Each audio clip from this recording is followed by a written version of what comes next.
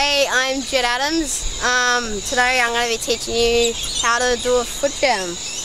Well, first of all, you just gotta, you know, on flat, just try doing there. It's like, when you do it, just kind of turn your bars a bit, like to a 45, 30 degrees, I'd say, like that.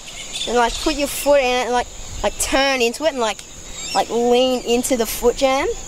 like just right up and just go like, just like jump off and on like that. Once you've done like the, once you've done them on like the flat ground, you, you're probably ready to go to a ramp if you're confident enough. And like with your hands, just like firm your, like grip your, grip your bars like firmly like you usually do, like when you're doing anything else.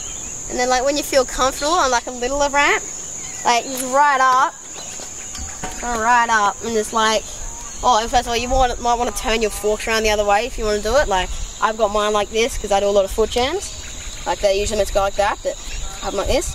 Here's foot jams.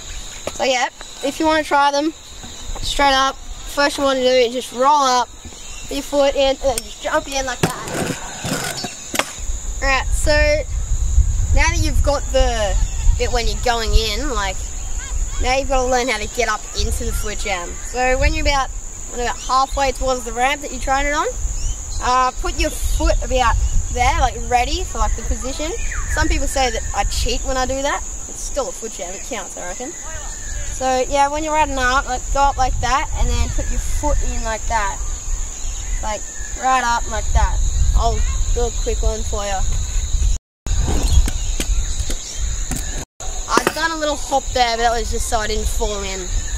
Yeah once you've got them good, you can do like your hops and like whip to foot jam and bar to foot jam and like can do like them tricks out or something and yeah, I hope you learn foot jams.